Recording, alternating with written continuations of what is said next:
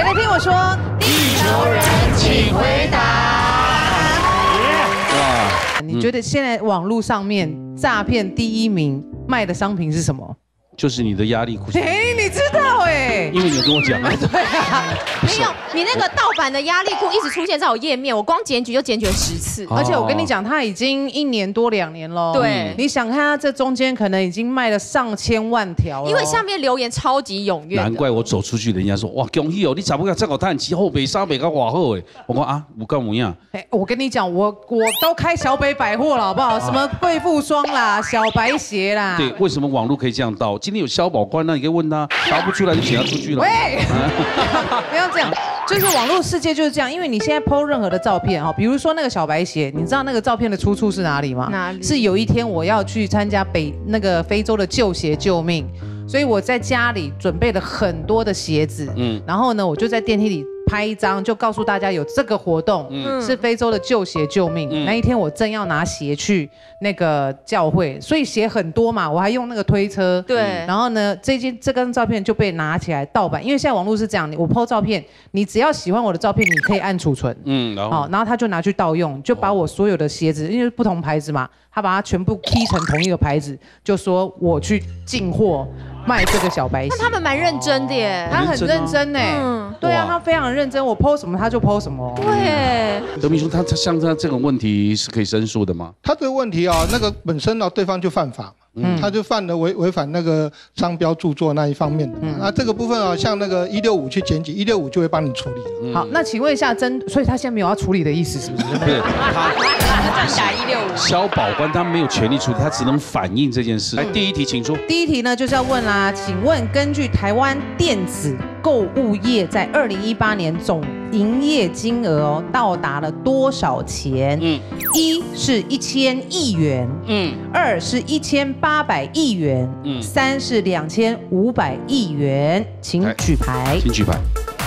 一千亿跟一千八百亿跟两千五百亿，好，需要放胸口，放胸口。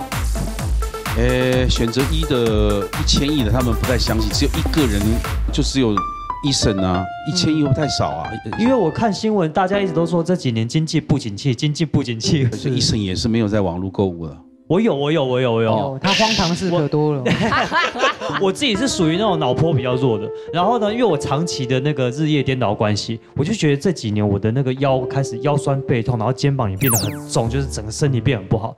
所以我在网络上面只要看到标榜是养生的东西，我就绝对会买。比方说养生茶啊，什么养生按摩棒啊，养生养生按生按摩棒，对啊，要哪一种按摩棒？就是它可以，它有点像不求哦，人，也然后是，就心情愉悦的方面。然后它会有它会有那个吸那个正能量的那种按摩棒这样是不。是上错主题啊？你到底买多少按摩棒啊？然后有一天我就看到一个超级神奇的东西，它叫做它叫做养生床垫。然后那个养生床垫呢，它的这个呃标榜就是你睡起来会比五星级饭店那个床床垫还要好睡。哦，然后它要价十万块。哇塞，然后那个时候我就心想说，哇，糟糕，十万块这是很大一个负担。可是呢，我又看到他的算法，因为他说这个床你十年睡不坏，所以呢，如果你这个床除以三百六十五天再除以十的话，一天只要出三十块，嗯，然后它可以达到你这个腰酸背痛的那个坐骨神经痛完全的改善而。且一天三只要三十块是要有在工作情况下，你如果专心辞掉工作专心睡的话，你一下就回本。这样摊提算下来，我就觉得这个十万块好便宜，好便宜，一天只要三十块，然后可以你换你一辈子的健康，这样。是啊，所以你都买那么多了，所以我就我我我我我就我就我下定了。然后下定的那一天呢，刚好当时我人不在家，是我妈帮我收货的。他们准备要离开之前，我妈就随口问了一句，他们问说这个床垫是价钱是多少这样子。然后那个店员就说十万块一家。我妈说真的还假的？那等一下等一下等一下，因为我妈听到这个十万块以后就觉得说这个这个床垫真的太贵了。然后我妈就说七天之内是不是可以退货？然后他们说可以。然后那个床垫我到现在还没有睡过，我就这样子被退掉了。他只有他选一嘛。对啊，选一的一千亿的是只有一位，对好，然后选一千八百亿的有十六位，选两千五百亿的有二十呃三十二位。阿喜选三，对啊，因为我们现在吃喝拉撒睡、寓教于乐，全部都是靠电商哎。然后因为我自己也有投资的关系，所以 因为投资电商我都有在买的关系，我很看好我自己。我相信应该这个数字蛮庞大的，因为截至目前为止，这个月才过了几天，我已经花了两万多块。哇塞！毕竟我每天都会存一些，先进入购物车，这样到时候要结账的时候比较方便，它又会一起集运送过来嘛。所以这样每天存之下，又加上比如说还要买一些贴图啊，先存个三五千块，一两天、三三四天，就就这样算一算，可能加总起来，我觉得数字已经可以有一种无上限的感觉。我有很常在这样，比如说在光边看地球人，然后觉得嘴馋，然后订个零食，隔天早上我还没起床，他就已经在门口了。真的，超快有一种什么八小时或九小时会到货的，台北是六小时那种，将来会不会还没订，他就已经在门口？要订更恐太恐怖了吧？太恐怖了。可是我觉得年轻人越来越惨了，怎么了？他都不去逛街，这些年轻人还会在路上啊。有有一天我看年轻人在路上有一种什么东那个车有没有？哦，对对啊，独轮妈的，呢？我就我我看了我就说，哇，这年轻人不走路，平常走路都难了，现在走一段路还嗯，到红绿灯停着，嗯。当我在骂，一看是谁了，何润东，哦很远就走过来，我就开始骂那年轻人，长那么壮还要用走，这样会被残废，我跟你讲。在家还有头头是道，好方便哦，用手指就可以好了。好了，算了，我再教你怎么弄网络了，好不好？网络真的很方便。小宝宝息怒息怒听得很生气，对不对？这些年轻人不知道在想什么。是二一千八百亿元。因为根据经济部统计，电子购物呢，然后一百零七年的营业额是一千八百九十四亿元。台湾人呢，平均每个月网购二点五次，全年网购金额呢约为两万六千五百八十七元。听了刚刚那个大家讲法哈，那我就知道说为什么现在那个网络上消费纠纷特别多，就是因为资讯不对的。嗯，啊，这个必须要说明啊，像刚刚大家讲的啊，很多里面哈，对我看到的东西哈，看到很多里面的那那些东西，对不对哈？那最重要的就是说怎样啊，消费者没办法看是检视这个东西，我没办法亲自去摸、亲自去看、亲自去体验，对不对？所以说造成很多的这些问题啊，就在事后拿到东西时啊就不一样。所以瓜哥刚刚啊就问说，你那挂钟本来在台湾多少钱，在大陆只要三百块，你是买到假货，这种很多哎、嗯对不对哈？但是实体也是容易被骗啊。可实体你看到，有一次我们就是陪他去那个一零一逛嘛，嗯然后就逛到一家服饰店，这样走进去，他说：“哦，光哥，这件背心啊，那他要进去试穿一件背心，放在橱窗。”然后他们就进去找他的 size，哇，这个这个这个背心哦，刚到货，而且呢，这个 size 全台湾剩下最后一件，哇塞，剩剩最后一件，一定要买啊！对对对对对，然后他就穿上去，觉得啊很好看嘛，然后然后就买了这样，然后我们就去三楼逛逛逛下来，哎，怎么橱窗又出现一件？这是术语嘛，他没有被骗啊，他只是讲话术。不是最后一件吗？话术话术，哎是你的话术 size 最后一件，嘿这个不同 size。话术话术是在这一些国际的网购平台上面，大家最常买的第一名东西是什么呢？一是服饰，二是鞋类，三是电器。你们可以服饰、鞋类、电器，请举牌。服饰、鞋类、电器。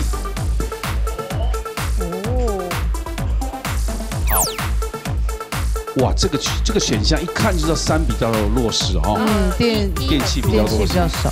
一跟二差不多多，我觉得。我是蛮常在网络上买，就是电器用品的，就是像那种除湿机啊，然后电风扇，就是那种就是很需要搬运的东西大型。对，我就觉得很方便。像我前阵子买了一个气炸锅，然后他就有分，他就是他就说这个是特货啊，就一般的海关过不了，所以你要特别付运费，他就直接寄到你家之类，也是蛮麻烦的。还有电压问题，一百一十伏、两百二十伏也是问题。对那你还是选三呢？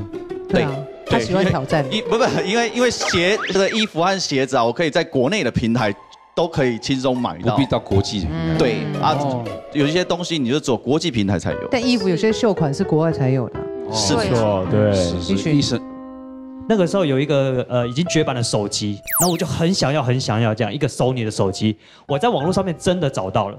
然后呢，因为它是说它是全新的手机，来的时候呢，它的那个塑胶的胶膜啊，整个盒子什么也都全新的，我就开箱了，开始使用以后，我就发现奇怪，为什么大概才用个五六天而已，为什么它的电池很快就会在讲完几通电话之后，可能从七十几趴瞬间掉到剩下五趴这旧的？手机啦。对，然后那个时候呢，因为它那那那款手机是可以把电池换起来的那一种，然后我就把它的那个电池拆开以后，我就发现它电池上面不是都会写一些字吗？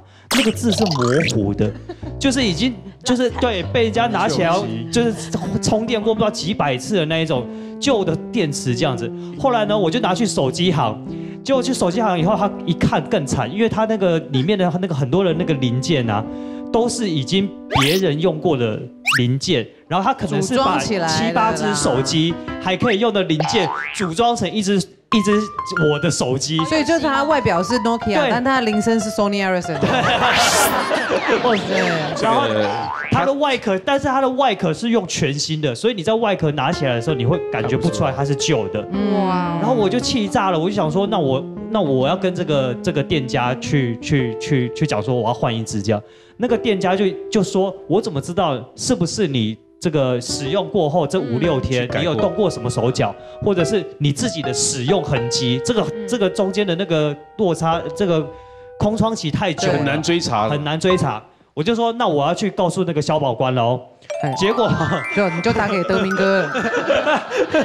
结果后来，后来果真两天后，我就接到那个店家打电话给我，然后呢，那个店家就跟我讲说，呃，不然这样好了，我我你你你把你那只手机拿来我店里，我再换一只新的给你这样子，因为肖保官的确有就是发函给他们。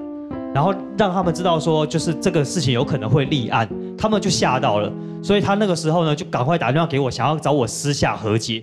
然后结果我就因为我心里想说，你都已经是可以可以弄出这种就是组装手机了，我现在再去换一台，我怎么知道你是不是那一台里面又有一些零件是旧的？我就直接我就直接跟他说，我不要你的新的手机了，我你退钱给我就好了，这样。嗯后来我就就对退钱成所以刚刚有提到说，因为疫情的关系啊，最近这个用使用网络购物的人越来越多了，因此我们要问大家啦，你觉得底下的哪一个年龄层，哦，这个使用的这个网络消费的族群有增加人数的？一是二十岁，二是四十岁，三是六十岁。请选择。我们灯可以灭掉吗？